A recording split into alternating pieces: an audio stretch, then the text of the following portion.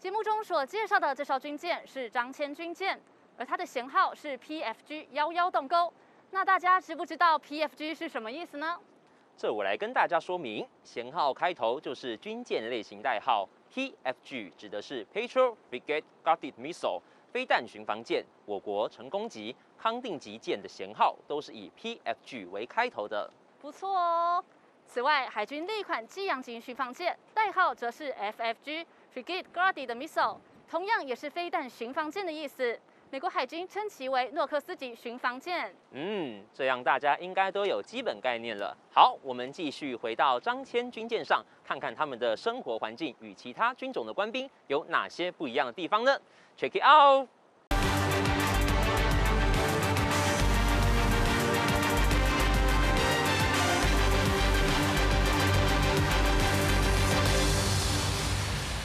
加班注意啊，出去啊，要注意什么？不能酒驾，不能吸毒。海军舰艇靠港的日子，傍晚时刻到，张骞军舰上的官兵有一半的人可以准备放假。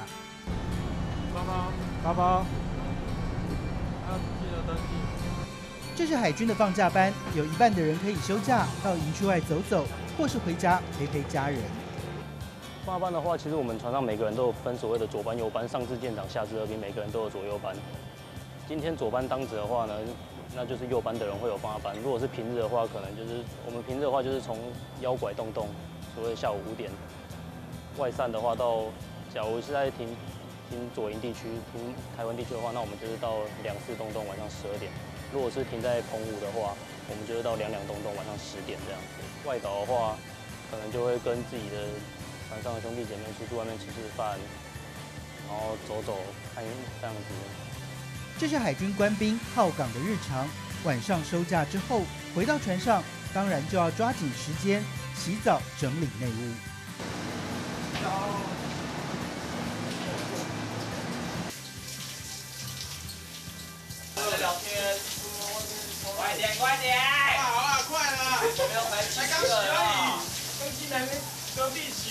啊？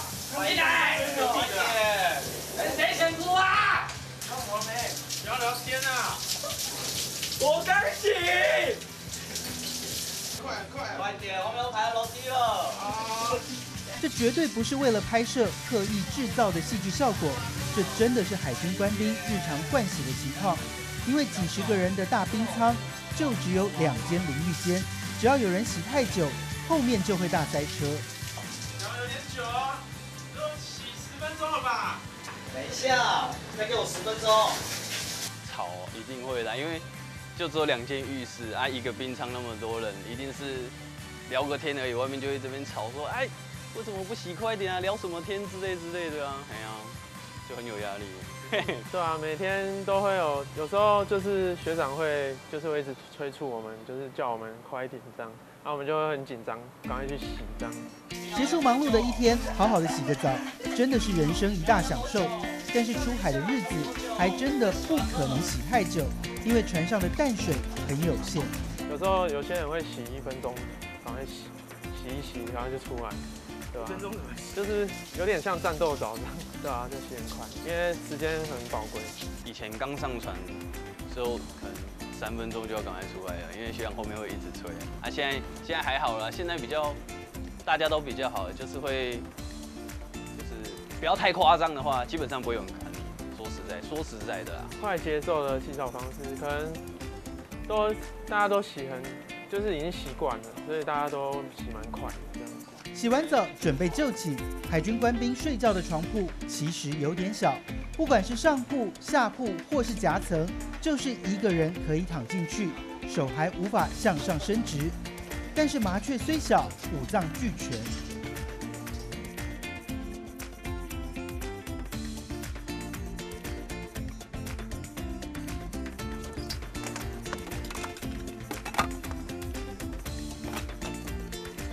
下床整理床铺，不是为了要检查内务，而是为了要打开床板下的置物柜拿东西。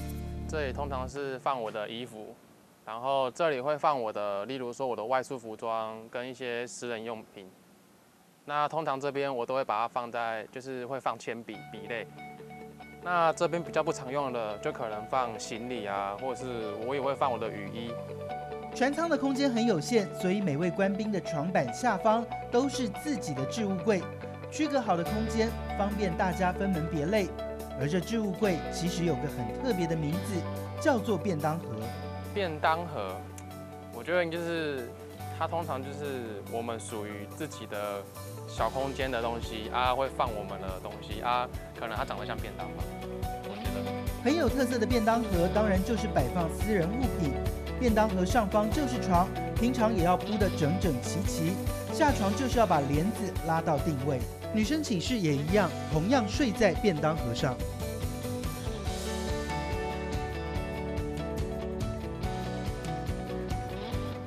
开始上场。二队阴道十一，十到十一；三队阴道八，十跟幺加八幺，十到六，合计十七元。晚上就寝时间之前，海军不是全船集合晚点名，而是由干部到大寝室执行查舱、人员清点。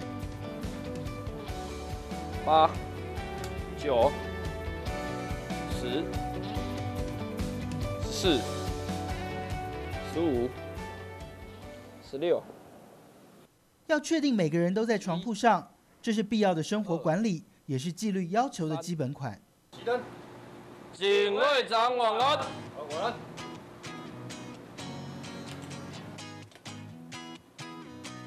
海上航行的日子日复一日，有时候任务需要出海时间会长一点，那就大家互相帮忙。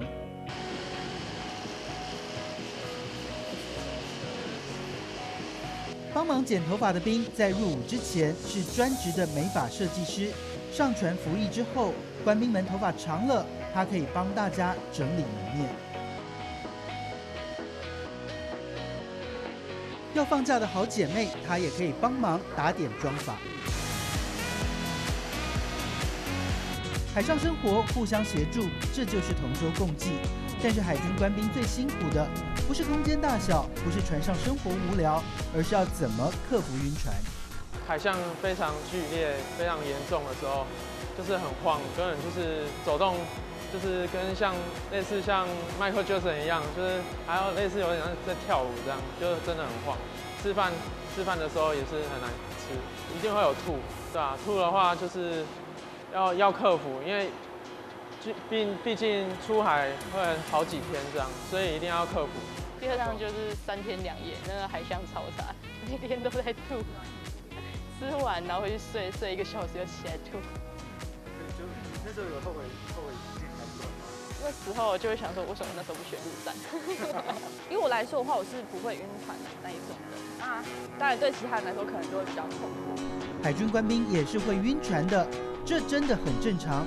但再晕吐的再惨烈，该做的工作还是要做完，只是要一段时间适应习惯。舰艇的生活一与一般陆地上有很大的不同。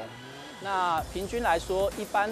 新进的弟兄来到船上，我们会安排专责的辅导人，在两个礼拜的时间内，让他了解船上一般的生活跟工作的形态。那因人而异，那平均在一个月之内，大概就可以熟悉整个工作的环境，来执行他所应付你的任务。当然也能看到别人看不到的风景，觉得晚上的星空真的很漂亮。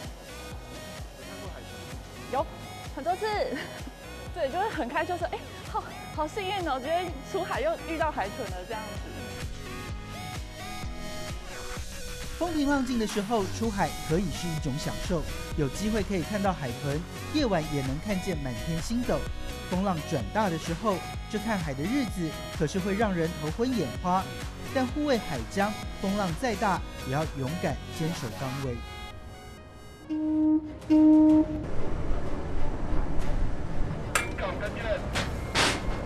每一次的出海航行都有不同的训练任务，而且出海之后，船上的运作就不能停下来。飞弹距离上海里。台湾周边海域什么情况都可能发生，近期更是忙碌，各种状况的演练都不能少。张骞军舰当然也要做好准备。平时主要的任务是执行台湾海峡周边的侦巡、护航及各项战备演训工作。战时的时候，则依据我们的作战构想与计划实施防卫作战。那本舰配备有标准一型的飞弹，熊二、熊三攻船飞弹及 Mark 四六鱼雷，拥有优异的作战能力与机动性。军舰出海之后，每个部门都是二十四小时运作，随时都有人值班，在海军称为值更。一天的通常都有二十四小时，啊，我们就会每个时都会有各个时段就会排人，然后以以四个小时为基准，每个人就是以四个小时为基准。军舰的运作很专业，也有一点点复杂。为了让大家更了解值更，我们就带着观众到轮机部门看看这里出海到底是怎么运作。哦，这个先来介绍我们这个是 PCC 操控台，简称动力操控台，哦，主要是监看。两部主机的动力参数。哦，这是我们的辅装备控制台。哦，主要可以看到我们平时生活所需要的，像冰机、空调以及低压机、高压机的各项参数。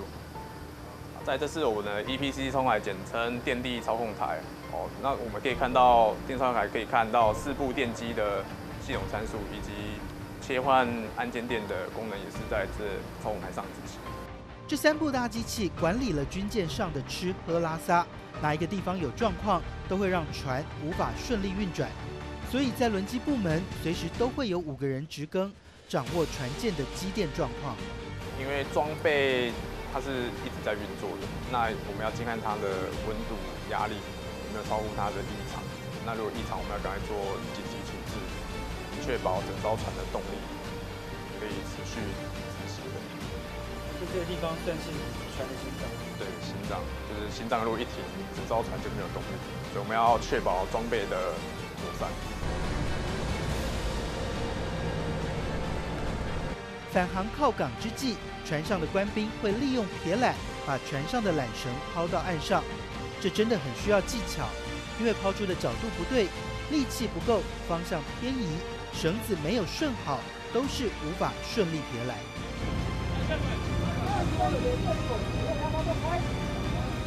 靠港完成，船上的直更制度也会有点调整。在泊港的时候分成六根，然后航行的时候分成七根。这中间的差异就是为了我们要为了避免人员他在就是可能在同就是只是相同的根型、相同的时段，所以我们就发展出一个木根的制度。然后木根的英文是 Dutch，然后的意思就是。闪避相同时段的勤务，或者是闪躲跟勤，就是相同跟勤的意思。然后在以讹传讹下，大局不知道为什么就变念成斗格，就是所俗称的狗根。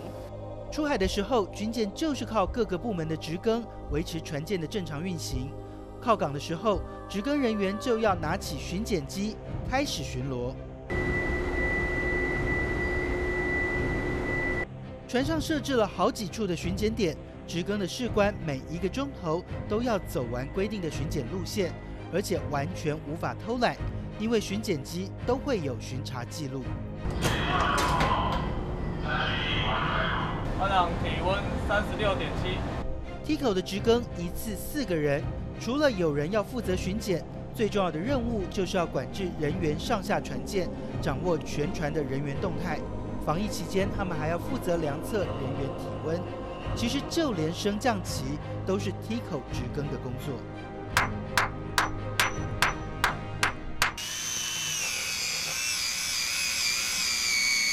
出海任务返港，船舰的保养非常重要。只要发现有锈蚀，就要好好处理。我们一开始回来的时候是先先大洗，就把船那个航行的时候的盐分先洗掉，然后回来之后看锈蚀的部分再进行除锈。和上油漆，它就是有锈包或是有那个锈水出来的时候，我们就会开始要除锈，不然它就会扩大。正常我们会分区块，如果我们这次要做箭手，我们就会一次做完，之后再分再看要做左旋右旋，都再分箭尾、旋边这样。尤其要上七道，之后上完之后再第七道就是上面漆这样。成功级舰的排水量约为四千一百吨，它借由两部燃气涡轮机的推力，可以产生到二十九节的速率。那二十九节的速率换成时速的话，大约在五十四公里左右。那在以我们的驻地到任务区的话，以成功旗舰的优异的性能的话，都可以在上级所指定的时间抵达所要到达的海域。